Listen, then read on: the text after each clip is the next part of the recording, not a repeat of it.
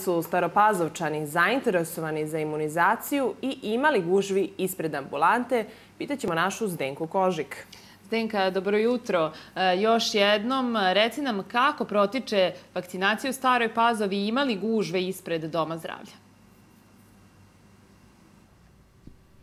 Dobro jutro, ponovo iz Stare Pazove se javljamo. Naravno, evo, iza mene je upravo ambulanta gde ljudi dolaze na vakcinaciju, upravo dolaze e, stariji sugrađani. Napolju nema gužve, ali poštuju se pravila da ljudi stoje na nekoj fizičkoj distanci, tako da e, kada se stvore manje gužve u unutrašnjosti, onda ulaze ovi što stoje napolju, već tako je to organizovano. A kako konkretno, o tome će reći moja sagovornica, doktorka Snežana Tabaković, direktorka Doma doma zdravlja u Staroj Pazovi. Trenutno vidim tu 5-6 pacijenata. Kako je organizovana imunizacija? E, imunizacija u opštini Stara Pazova, samim tim i u našem domu zdravlja, e, je ista kao i u ostatku e, naše e, Republike Srbije. E, pacijenti se pozivaju preko e, e-portala koje je prijavljen, znači dobija SMS-om ili ovaj preko e-maila Eh, obaveštenje sa datumom i vremenom eh, zakazane imunizacije i naši pacijenti tako i eh, dolaze na svoju napred zakazani termin.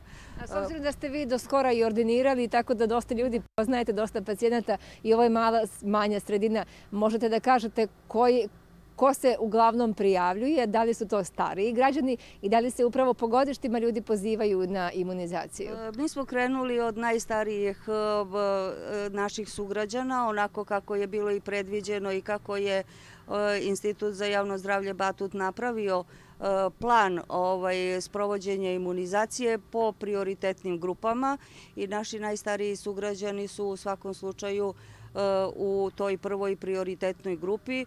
Eh, I mi smo krenuli sa recimo nekim ovaj, sugrađanima koji su rođeni 1927. 28. godine i dalje se išlo znači, po, toj, po tim starostnim grupama, eh, a među njima su opet prioritet imali eh, oni ljudi koji su imali i neke pridodate bolesti, znači recimo diabet, neku malignu bolest, neku hroničnu bolest, bolest e, kardiovaskularnu i slično, tako da je plan ovaj sprovođenja i pozivanja pravio Institut za javno zdravlje Batut.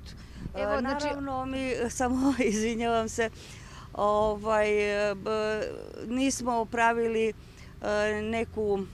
neki veliki problem ako se pojavio i neki pacijent koji nije bio pozvan tog dana za za vakcinu. Znate, to su stariji sugrađani e, koji uglavnom ne mogu da dođu sami. E, nisu svi ovaj, žitelji Stare Pazove, s obzirom da se vakcinacija obavlja samo ovde u centralnoj zgradi. E, ovde dolaze i pacijenti iz ostalih mesta, iz Surduka, iz Banovaca, Golubinaca.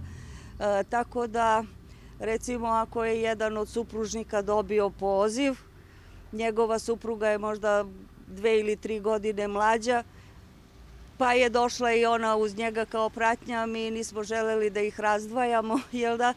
Tako da smo ovaj, prihvatali takve pacijente i uglavnom ovaj, e, trudili smo se da svi oni koji danas dođu budu i vakcinisani, e, da, ali smo opet vodili računa da se ne napravi velika gužva. E, svakako su prvo morali pribiti vakcine oni ljudi koji su prijavljeni i koji su pozvani.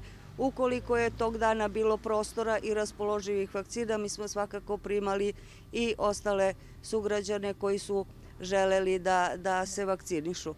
Koliko vidim, nema tu gužve, samo neki prosek koliko ljudi dnevno prođe kroz ovu ambulantu. E, mi smo dobijali izveštaj i spisak e, od nekih 140 do 150 sugrađana koji su pozivani redovno preko ovaj, državne uprave, e, ali smo imali i nekoliko dana e, cifru od nekih 200 e, vakcinisanih sugrađana za dan. Tako da smo znači u proseku išli 150 do 200 ljudi svakog dana je vakcinisano. Mi već ovaj 15 dana radimo ovu e, masovnu vakcinaciju i za to vreme smo vakcinisali e, negde oko 1800 naših sugrađana. Među njima su, među njima su i ovaj, naši e, zaposleni u Domu zdravlja.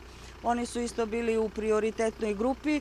Najpre su vakcinisani zaposleni koji su radili u COVID ambulantama i pripadajućim diagnostičkim službama u toj takozvanoj crvenoj zoni.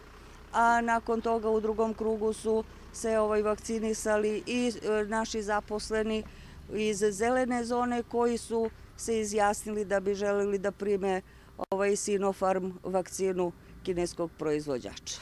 Svakako hvala na ovim informacijama i ovo jeste tema koju se mi stalno vraćamo i već smo nekoliko puta razgovarali o tome sa doktorkom, e, direktorkom Doma zdravlja u Staroj Pazovi. Dakle, kao što vidite, iza mene nema gužve. Očigledno dobro je organizovano, mora se sačekati, naravno jer svaki pacijent mora da ode i kod lekara na pregled, ali kao što ste čuli, vakcinacija protiče organizovano, neometano i najnoviji podatak koji mi je upravo rekla moja sagovornica kroz COVID ambulantu juče koliko je pacijenta prošlo, samo šest njih je bilo pozitivno.